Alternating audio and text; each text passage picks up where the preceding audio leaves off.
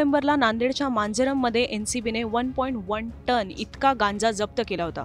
आता या नांदेड ड्रग प्रकरणाचं नक्षली कनेक्शन आहे का? या दिशेने एन सी बी तपास करणार आहे.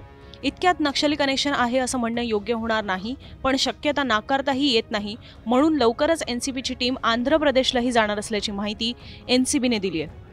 यावर एनसीबीचे झोनल डिरेक्टर समीर वानखेडे यांनी सांगितलंय की नांदेड ड्रग प्रकरणात आम्हाला काही धागेदोरे सापडलेत. यावरून तपास सुरू आहे. नक्षली कनेक्शन आहे का या दिशेने तपास करत आहोत. जशी याबाबत ठोस माहिती मिळेल ती जाहीर केली जाईल.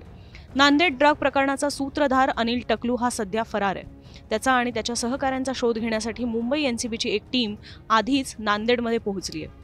नांदेडमध्ये एकोणपन्नास पोती इतका ड्रग्ज साठा सापडलेला पण हे ड्रग्ज नेमके पुरवले कोणी यावरही आता एनसीबी तपास करते महाराष्ट्रात होणाऱ्या सगळ्या ड्रग व्यापाराचा सूत्रधार अनिल टकलू आहे त्यामुळे आम्ही त्याचा तपास घेतोय अशी माहितीही समीर वानखेडेंनी दिली आहे पुढे ड्रग्सचा पुरवठा कसा व्हायचा हे विचारल्यानंतर एन सी बीने सांगितलंय की मोठमोठ्या ट्रक्समधून ड्रग्सचा व्यापार होतोय. हे ड्रग रॅकेट तर अगदी सोफेस्टिकेटेड आहे आणि लोखंडी गजमधून हे ड्रग्स वेगवेगळ्या ठिकाणी नेले जायचे जेणेकरून ते कोणालाही दिसणार नाहीत.